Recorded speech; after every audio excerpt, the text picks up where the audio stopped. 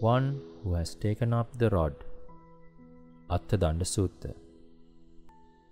Fear has arisen from one who has taken up the rod. See the people engaged in strife.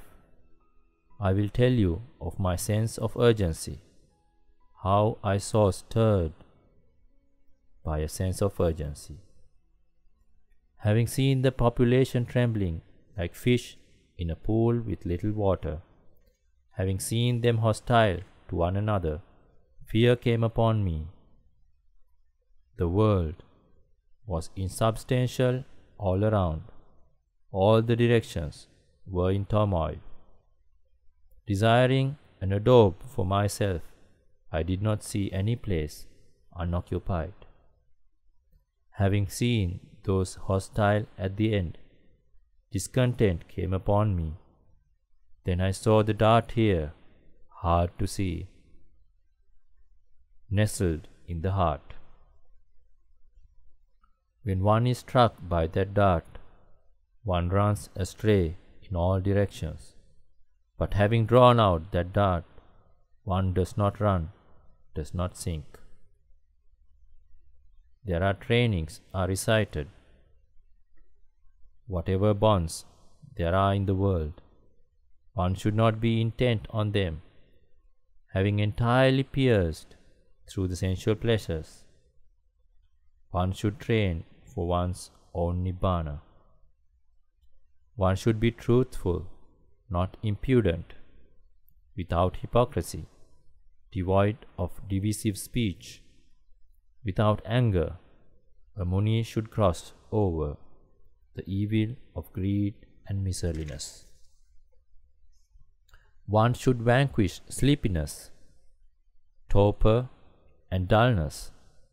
One should not keep company with heedlessness. A person whose mind is set in Nibbana should not persist in arrogance. One should not be led into false speech. One should not engage affection for form. One should fully understand conceit, and one should refrain from rashness. One should not delight in the old. One should not form a liking for the new. One should not sorrow over what is diminished. One should not be attached to an attraction. I call greed the great flood. I call longing the rapids. The basis, compulsion, the swamp of sensuality, hard to overcome. Not deviating from truth, a Muni, a Brahmin, stands on high ground. Having relinquished all, he is indeed called peaceful. One who truly is a knower, a Veda master, having known the Dhamma, is independent. Living rightly in the world, he does not long for anything here. One here who has crossed over sensual pleasures, the tie so hard to overcome in the world, who has cut off the stream without bonds, does not sorrow, does not hope.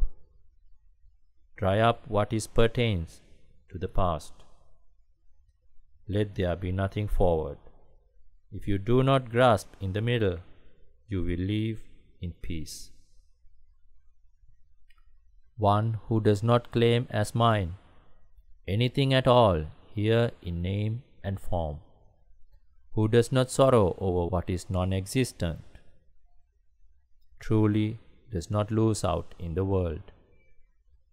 One for whom nothing is taken, as this is mine, or this belongs to others, not finding anything to be taken as mine, does not sorrow, thinking it is not mine. Not bitter, not greedy, without impulse, everywhere the same.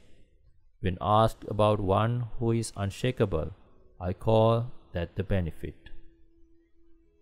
For one without impulse who understands, there is no activation at all. Abstaining from instigation, he sees security everywhere. The Muni does not speak of himself as among equals, inferiors, or superiors. Peaceful, without miscellaneous, he does not take, does not reject. So said the Blessed One.